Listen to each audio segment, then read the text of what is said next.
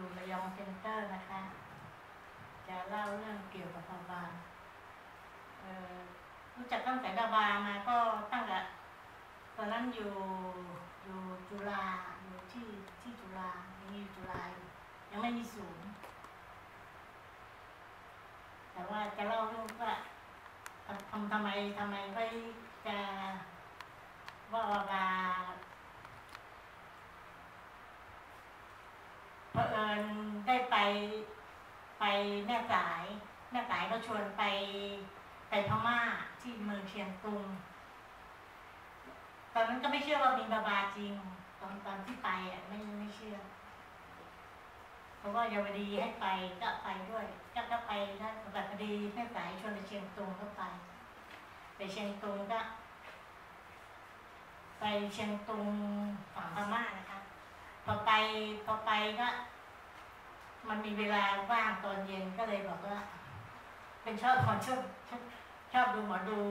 ก็บอกเออเอาโชเฟอร์ไปดูหมอดูให้หน่อยก็เออเเขาก็พาไป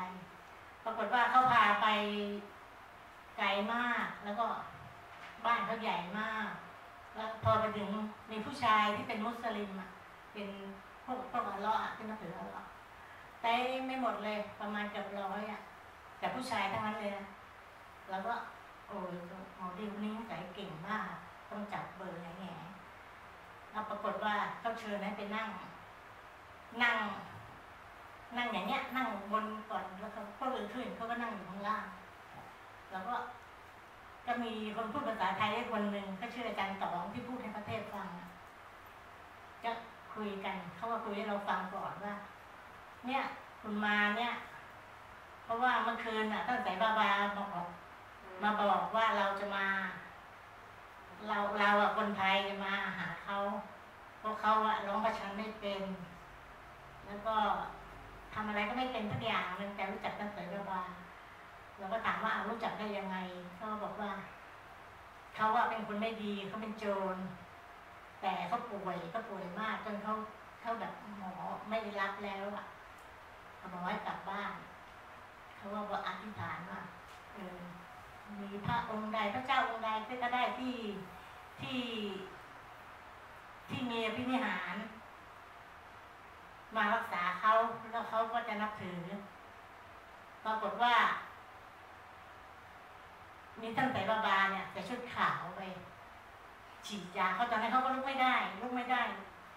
ลุกไม่ได้ กินไม่ได้อะไรนั่นนอนขี้นอนเยี่ยวอยู่ข้างล่างเพราะว่าพ่อแม่เขาให้นอนอยู่ใต้ถุนเขาก็นอนอยู่ใต้ถุนนะ บาบาเนี่ยแต่งชุดขาว มาฉีดยาเขาสี่วัน พอเย็นมาละแกะมาบามาละฉีดยาฉีดยาคนเป็นเต็มนี่แหละบาบาแต่งชุดขาวเลยนะมาสี่วัน แล้วก็ขอเขาบอกว่า เออตอนเนี้ยเธอเป็นคนดีได้ไหมถ้าเธอหายเขาก็รับว่าว่าเขาข้อสัญญาแล้วถ้าเขาหายเขาก็จะเป็นคนดีแล้วเขาก็จะรับเลี้ยงพวกเด็กยากจน คนจนเพราะว่าเขาคนรวยไงเขาเขาต้นจนรวยแล้วอะเพราะว่าปรากฏว่าสี่วันเขาหายสี่วันเขาหายแล้วเขาก็บอกว่าสี่วันเขาหายแล้วเขาก็บอกว่าไปขึ้นไปบนบ้านเขาบอกกับพ่อแม่เขาคือว่าเนี่ย เนี่ย เนี่ยเขาหายแล้วเห็นไหมเนี่ยเขาก็เดินได้ไปไหนไปไหนมาไหนได้ ทุกคนก็ตกใจว่าทำไมคนจะตายแล้วหายได้ แล้วก็ก็บอกว่า เขาก็ไปเอาเขาก็ไปย่างกุ้งก็ก็ได้ไปได้รูปพระเยซูอะเขาบอกคงจะเออเนี่ยแหละผมยาวๆเหมือนกันฟูๆเหมือนกันคงจะเป็นพระเยซูเราก็บอกแล้วแล้วก็เขาก็เอามาบูชาต้องหลายปีจนวันหนึ่งเขาไปแล้วไปเจอท่านสายบาไม่ได้ไปหาท่านสายบาเพราะเขาคนพม่าเขาเขาพูดภาษาแล้วไม่เป็นเขาว่าได้รูปสายบามาจากแม่สายแหละ เขาเขาไปเข้าไปได้มาแล้วเขาก็บอกว่า เนี่ยพวกเธอมาเนี่ยพอมาเมื่อคืนท่านสายบาบามาบอกว่าเราอะจะมาสู่กับชันให้ฟัง